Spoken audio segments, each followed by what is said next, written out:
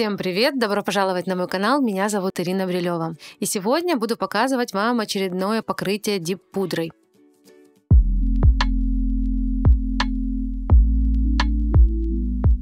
Вот так вот относились ногти черные и серебристые. Эту работу вы можете увидеть ранее на моем канале. Ссылочка вверху экрана, кому интересно.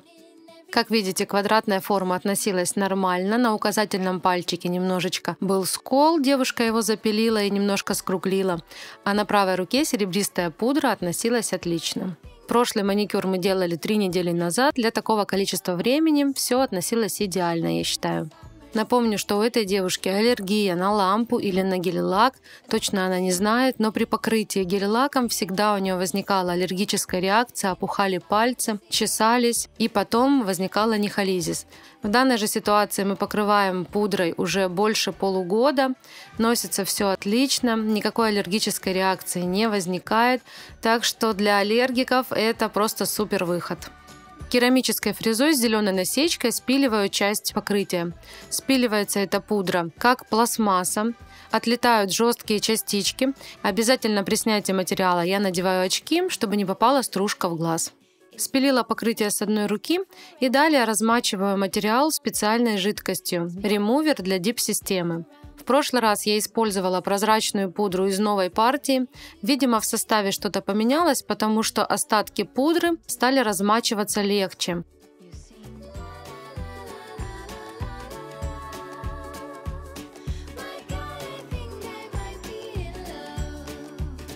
Просто убираю фольгу и спонжем с ремувером вытираю ноготь.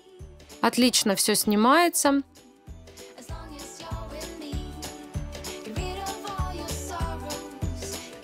Сегодня клиентка пожелала изменить форму, сделать острый миндаль, длину оставляем. Пилочкой на 180 грит меняю форму, поочередно пилю то левую, то правую сторону. При этом переворачиваю иногда ручку клиентки и смотрю, чтобы правая и левая сторона были опилены симметрично.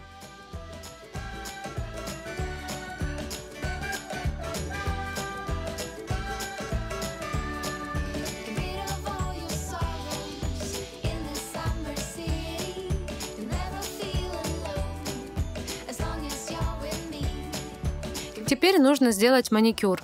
Пушером отодвигаю кутикулу и пламенем с красной насечкой 0,21 диаметра вычищаю птеригий. Делаю это как обычно. Сейчас еще больше расширилась палитра дип-пудр. Я смотрю, что и другие фирмы стали выпускать эту дип-систему. То есть она набирает популярности. А все почему? Потому что все больше людей сталкиваются с такой проблемой, как аллергия на гель-лак, аллергия на лампу скручивание ногтей под материалом. Все потому, что базы для гель-лака очень сильно высушивают ногтевую пластину, и поэтому она начинает скручиваться. Здесь же в ситуации с дип-системой такого я не наблюдаю. Ногти не скручиваются и не истончаются. Срезаю кутикулу ножницами, дорабатываю, если нужно, накожницами. Стараюсь сделать маникюр максимально по-сухому.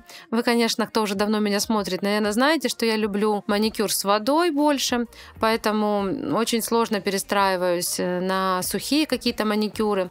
Также я люблю делать аппаратный маникюр по-сухому, но в данной ситуации девушке нравится комбинированный.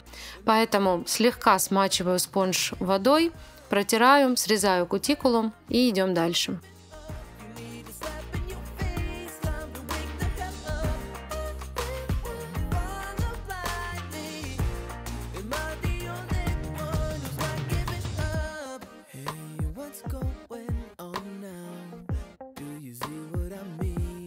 Следующим этапом шлифую ногтевую пластину и протираю дип-клинером специальным. Обезжириваю, так сказать, ногтевую пластину.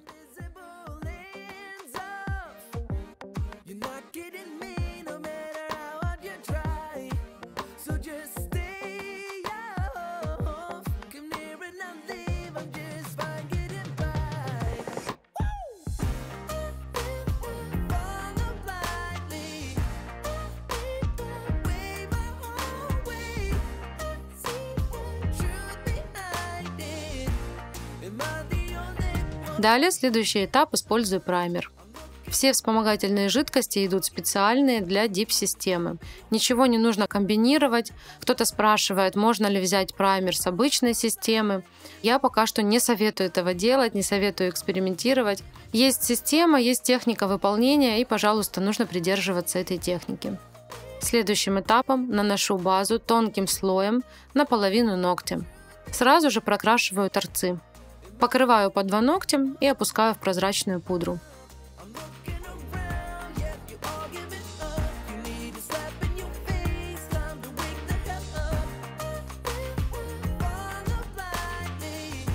Легкими движениями, желательно мягкой щеточкой, убираю остатки пудры и покрываю еще раз базой, но уже выше к кутикуле. В последнее время я выработала тактику покрытия сначала полностью одной руки, а потом, пока покрываю вторую руку, первая хорошо просыхает и сразу же приступаю к опилу. Поэтому показываю вам сразу все на одной руке.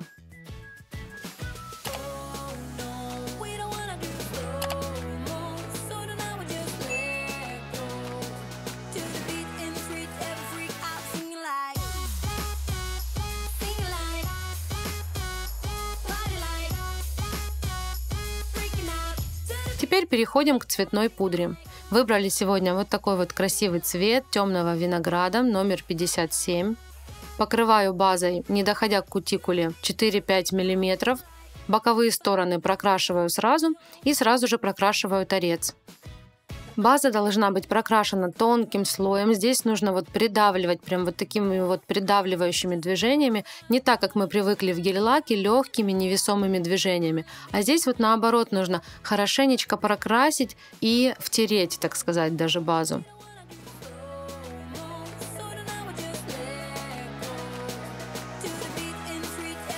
Два ногтя украсим глиттерной пудрой номер 31. Она ложится немножко неравномерно из-за крупных частиц, но на втором слое все выровняем.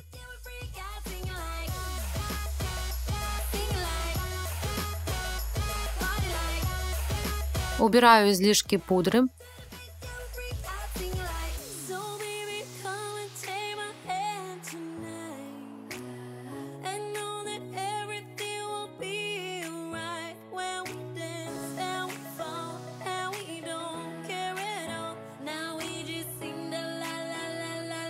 Прохожусь возле кутикулы праймером.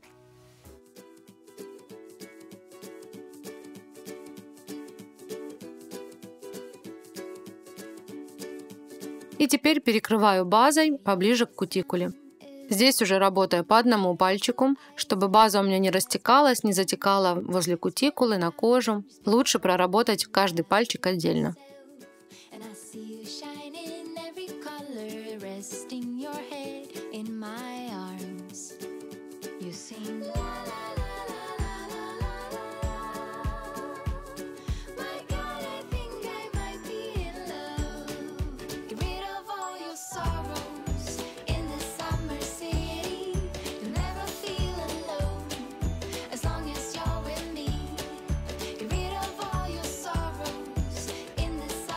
Убираю остатки пудры.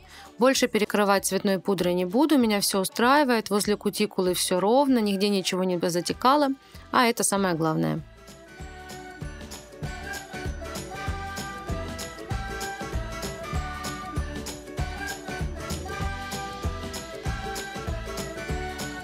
Теперь перекрываю опять-таки по два ногтя и опускаю пальцем в прозрачную пудру.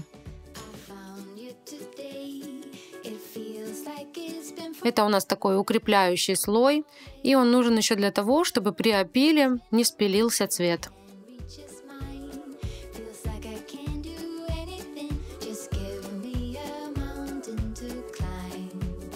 Следующим этапом обильно прохожусь активатором. Именно эта жидкость запускает сушку материала. Прохожусь обильно по всем ногтям и приступаю к покрытию левой руки.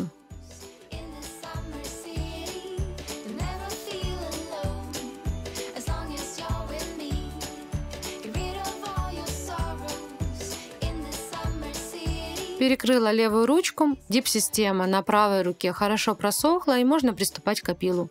Опиливаю этой же пилочкой на 180 грит, равняю все бугорочки, если они есть, прохожусь в зоне кутикулы и боковых валиков, Дорабатываю форму, потому что пудра могла где-то немножечко исказить наш узкий миндаль, который так хотела клиентка.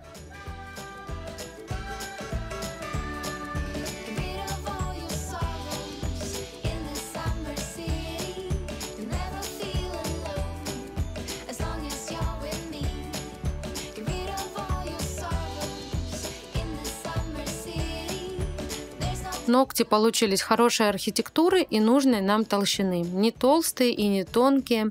На боках нет никаких плюшек. В общем, в принципе, меня это все устраивает. А клиентку мою вообще так тем более. Человек, который три года проходил вообще без никакого покрытия и только мог позволить себе обычный лак на два дня максимум, который нужно постоянно перекрашивать, просто безумно счастлив от этой дип-системы.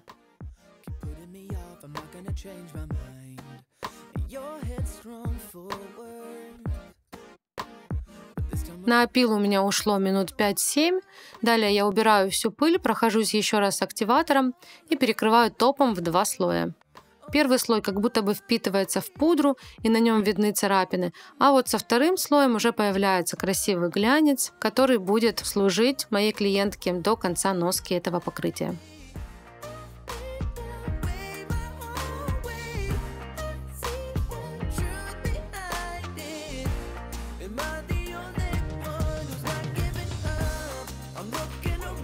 Вот такая вот у нас получилась сегодня история. Пишите комментарии, подписывайтесь на мой канал и не забывайте нажимать на колокольчик, чтобы не пропустить новые полезные видео. Всем здоровья, пока-пока, до новых встреч!